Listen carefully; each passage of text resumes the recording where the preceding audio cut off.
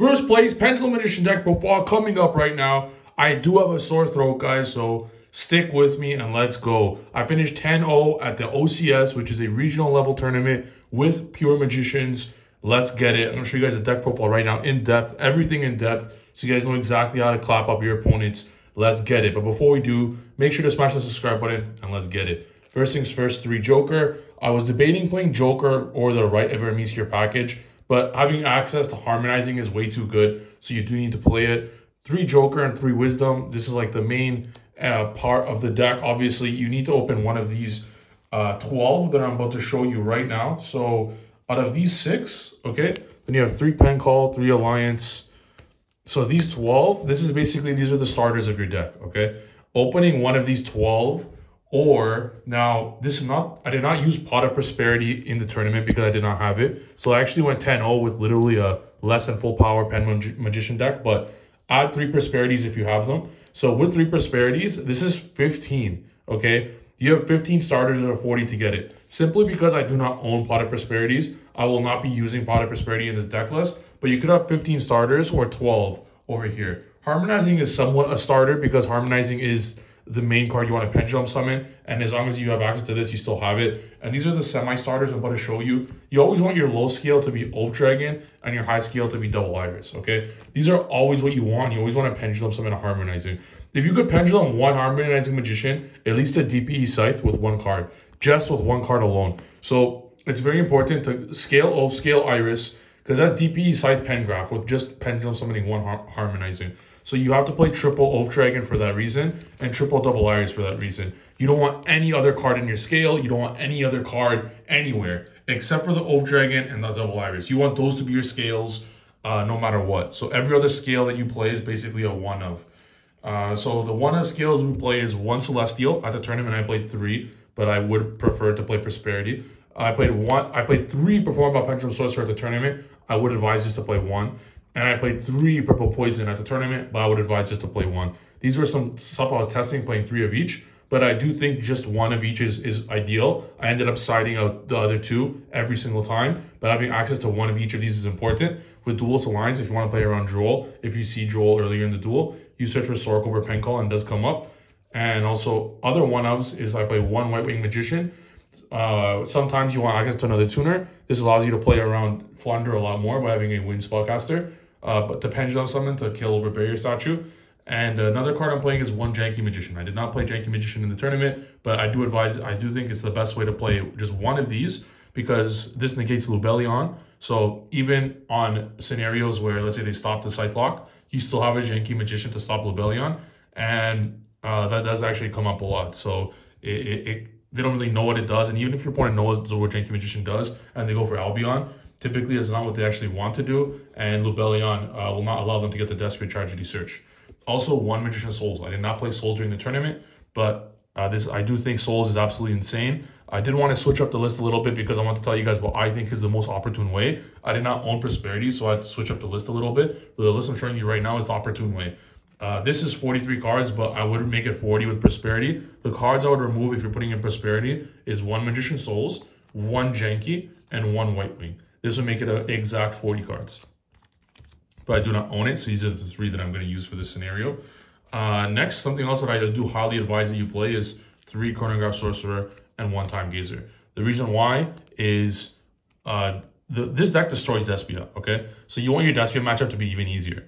Okay, the best way to do that is to make it so Guardian Chimera cannot pop your scales. If Guardian Chimera pops your monsters, you literally just don't care. So the idea of Chronograph is you special out Time Gazer, you put up scales and try and bait your opponent into popping them. If your opponent does not pop them and they actually know what Time Gazer does, that's fine. They pass test number one of the Pen God, then you move to the next test. The next test is the Charmer test. So you look at their graveyard and check light or dark. Time Gazer could turn into either Dharc or Lyna because you play Artemis Magician, which makes every single pendulum in your deck able to go second, to go into Dharc or Lyna of your choice uh, to force interruptions or even to enter battle phase and crash and search wisdom mine. So going second, you're uh, literally always able to combo no matter what.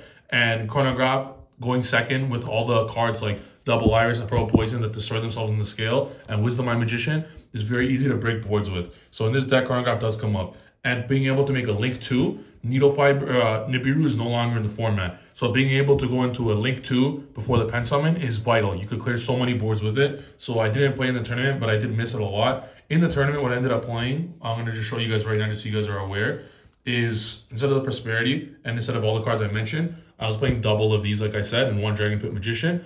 The only reason I played three Purple Poison and one Dragon Pit in the tournament was because I, I know Ryan Yu was there, and out of respect, I knew he was playing Eldlich, and I thought I was going to see him in the finals or guaranteed in top cut. So I played this to have more outs to his Eldlich deck, but now that it's just like a normal tournament, I would advise just not play these. Just one of each is honestly all you need, and being able to clear boards is more important. Next, you play two Tuning Magician. You got to play two in case you hard draw one. So that's why two is good. Post side deck, you do side out one for a Veiler. The basically the whole side deck is all hand traps. I'll explain the siding pattern at the very end. But guys, I literally went 10-0 with a shittier version of the list I'm showing you right now. This is basically the Super Saiyan uh, God version of Pen Magician. This is the perfect version considering you had it, but this is with the prosperities.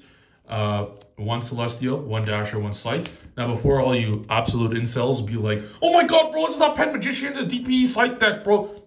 Literally just stop. Just stop. This I was playing DPE Scythe before DPE. I was playing Scythe before DPE was even out in this deck. And this deck synergizes with Scythe so incredibly well and with DPE incredibly well because it's able it allows you to pop your double iris for free and you're able to dodge every way that Scythe uh, they stop Scythe. You're able to dodge Pengraph. Uh, sorry, you're able to dodge uh, Chalice or Droplets with the Pengraph. And you always set up a Baron to protect everything to stop stuff like Ghost Belle or DD Crow on the Scythe. So this is just the best possible DPE Scythe deck to play.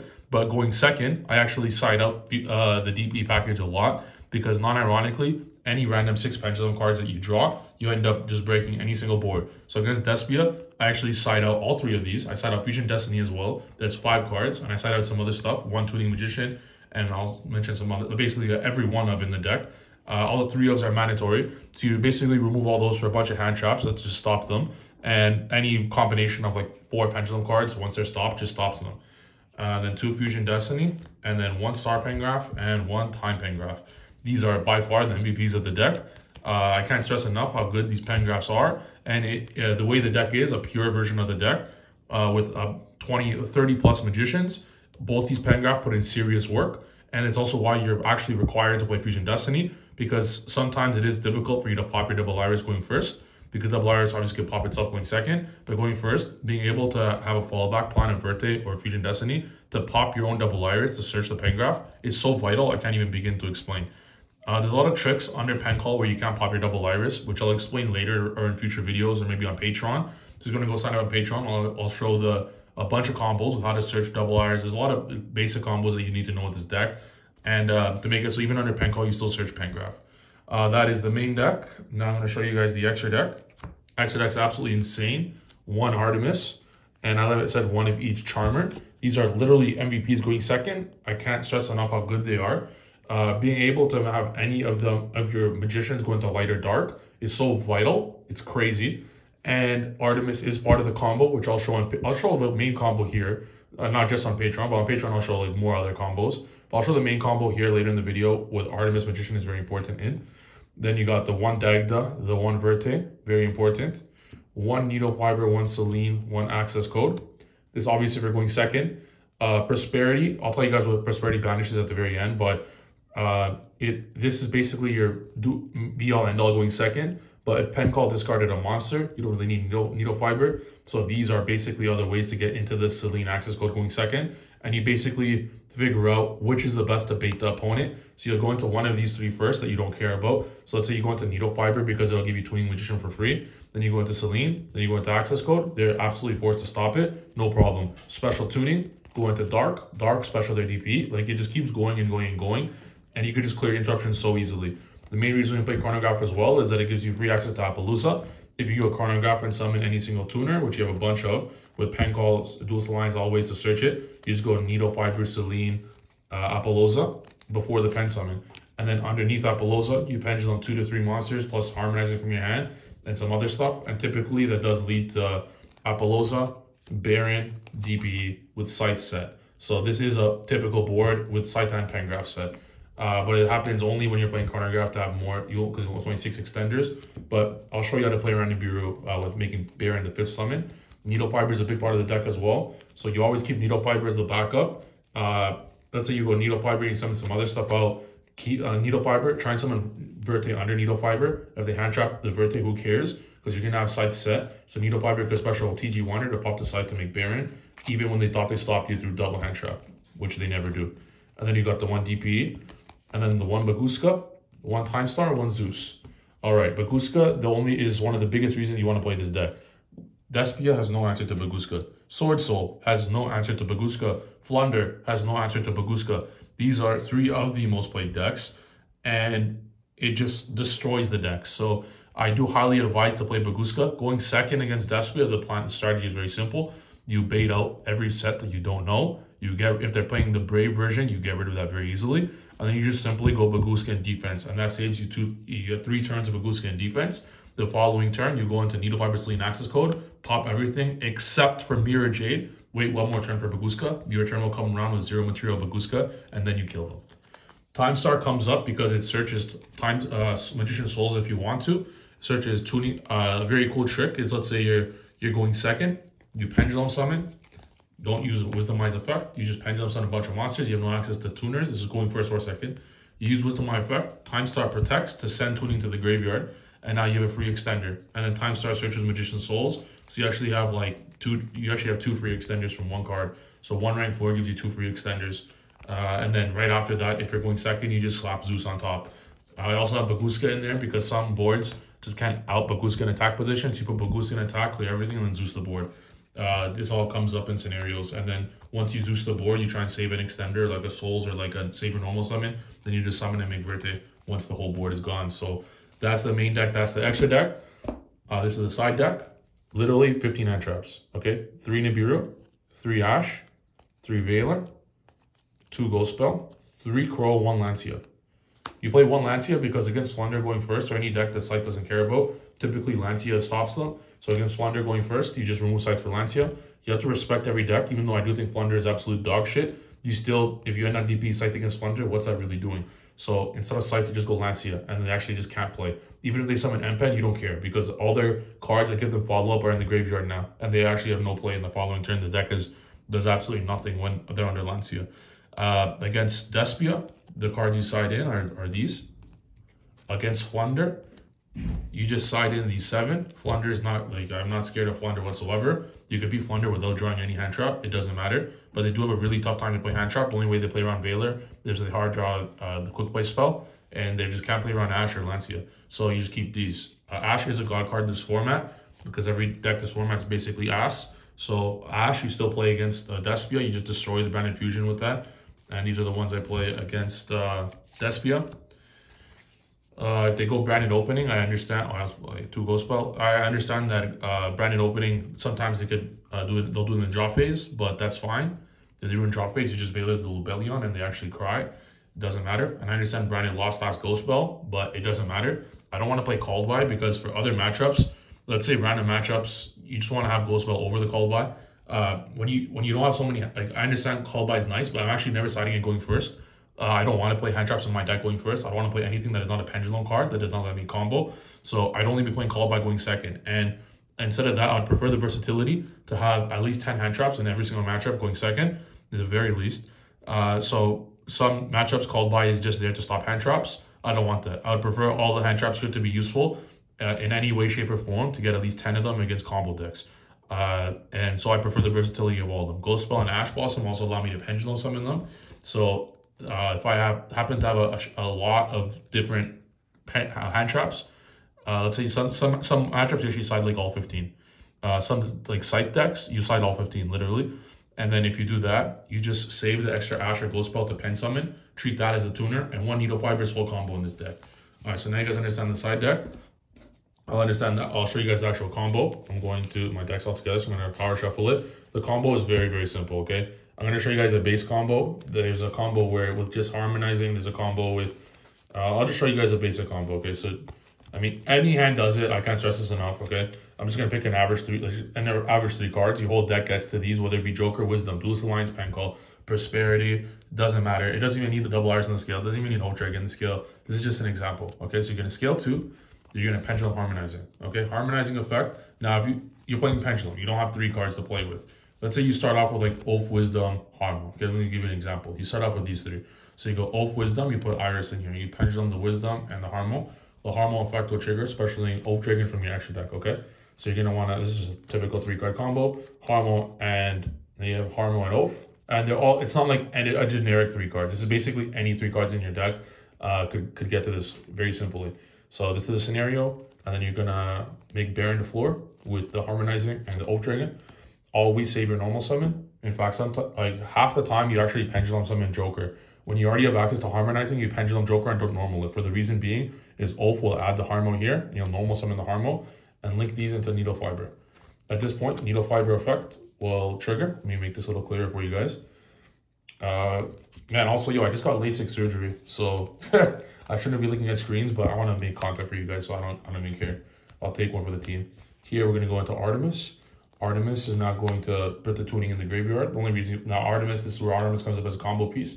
Now you special the tuning magician because you put it in the graveyard for free. You banish the tuning magician and the Artemis and you make Dagda. At this point, you just saved your Baron the floor. So Baron the floor will now trigger or, right away in Rezo to pop the double iris. You're protected from the Biru because Baron will just negate it. And then double iris will trigger and Dagda will trigger. So that will set artifact scythe as well as searching Pengraph to your deck. Okay, so uh, so far just three card combo, right? So you have this in scenarios where you don't open the uh, Harmo Oath. You don't like you don't always need. There's so many ways to do this combo. It's insane. It doesn't even matter because you could always just remake it with the TG Wonder Magician, Needle Fiber, Pop Scythe. No one plays Dark Ruler, so you could just save it for Needle Fiber. So TG Wonder Magician, Pop Scythe, Scythe TG Wonder, McBaron. So it doesn't even matter how you get to, but the end board will always end on this. In this scenario, already started this, so we're going to link off with the Needle Fiber. Here we're going to go into Verte, and Verte will make the DPE. So with a three-card combo, you end up with literally an unbreakable board here. You send Fusion Destiny, Celestial, and Dasher, and this ends up with a board of DPE, Scythe, Pengraph, uh, DPE, Scythe, Baron, Pengraph. So there's really no answer to this, and it's just three card, a three-card combo. So now when you go on your opponent's turn, okay, you're also to have random two cards. that would make it even crazier, like if you had these for the combo, but uh, you're to pass in the draw phase. You're, you're to, well, to play around Super Poly, if you really want to, you could pop this, but it depends on the matchup. Uh, if it's blind at this scenario, I really want my scythe to resolve, so I will be playing around it. And if he has Ghost Belle, I'm just going to negate it with Baron. So I'm going to pop the two of these. Sometimes under pen call, you could just DPE pop uh, like the card pen call, then Verte, or you could Baron pop the Verte or something. This scenario, I'll use these. I'll declare DPE. In a standby phase, I'll bring back the DPE. I'm going to activate the DP right away in the standby, popping both. Chain blocking, artifact scythe chaining 1, DP chaining 2, because artifact scythe mandatory. Scythe effect in the field, declare, and then effect negate. Now, in this, typically you do a pen call as well, or like that duelist lines with a search pen call. Uh, or if not, you'd go in, you have a free rank 4 with that hand, and I would have gone time star and get more plus. The, uh, so with the full hand, I would have gone, if they even droplets the scythe, I just pen graph effect, uh, negate, uh, sorry, pen graph effect, pop his droplet, uh, pop my, my with Oath, and then the second effect of Pengraph will trigger because of Time Star, allowing me to send a free spellcaster to the graveyard. So we'll send a free Tuning Magician to the graveyard, and then Scythe, uh, send one card in the field. So we'll send Scythe. Scythe is no longer in the field, so it negates it. In this scenario, I'm just showing you guys a typical three card combo, so we don't have that. But nonetheless, they're just not playing through this Scythe trigger. And now we, we just did this with three cards, right? Perhaps the first two cards I used to bait your opponent, bait your opponent's hand traps. I could have started with Pen Call and he ashed it or something. Then we still end on this.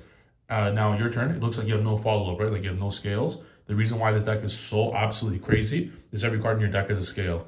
Uh, you're going to, like, you get DPE back. You could Dasher if you want. Duelist Lines, we already have scales. And that Lines, which is either, either Pen Call or Double Iris, effect to draw two. So it's like, even when it looks like you have no follow-up, that's what DPE does. It allows you to have the craziest follow-up. So here we search Duelist Alliance, we get Pen Call, Discard, Oath, and then like this is just full combo. And I'm I'm uh, I'm doing 16,000 damage if I want to.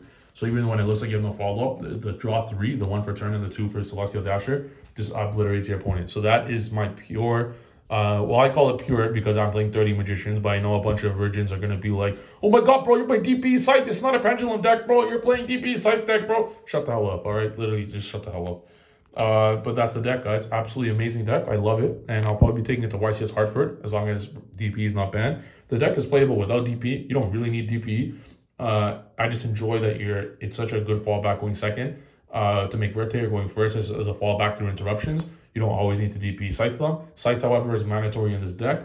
If you don't want to play DP, you don't need to. You just play double Needle Fiber and you play Tornado Dragon. So your way to pop it now would be a Tornado Dragon to pop the Scythe, which is very easy. Or you play double Needle Fiber and you just keep the Needle Fiber in the field. The Needle Fiber will go TG Wonder to pop the Scythe and you still make Baron. And because Dark Ruler is not in this format, uh, you can still easily resolve your Needle Fiber. So they're both versions are cool. Uh, and it's very fair if you don't want to play DP because uh, I literally side DP out going second against Despia because I'm aware that literally just drawing any generic, for any five Pendulum cards in your deck, these are, are there any six because you draw six return, like this destroys Despia. I can't stress this enough. This like obliterates Despia. I will nine, like not even nine times out of 10, 10 times out of 10, I'm breaking any Despia board with this. As long as they don't open Dimensional Barrier, they're losing. So any six cards does, does the exact same thing. This one destroys them. This one, I don't even need to look at this one, and this one destroys them. Literally every single, and all my good cards are in the field, and this still destroys them. Every combination of six cards, well, these are getting sided out. Any combination of six destroys them, no matter what it is. There's just no answer. You literally just pendulum five. And what are they going to do? They only have spot removal. Uh, the bad matchup for this deck is Prank Kids because this deck does lose to double Raigeki. Uh, but I do think Prank Kids is falling out of favor because it hard loses to Despia. It literally just cannot beat Despia. And uh, so I do think that uh, this is an amazing meta call because you're going to face a lot of Despia and Despia counters. And this deck destroys every Despia counter. Like it obliterates Sword Soul, which is a huge Despia counter. And it just overall destroys Trap Decks, which is another Despia counter. And it just destroys Despia. So this is just an amazing meta call this format uh, to destroy everything. Hope you guys enjoyed the video. Smash the subscribe button. Let's get this video to 1500 likes. And I'll see you guys in the next video. Peace.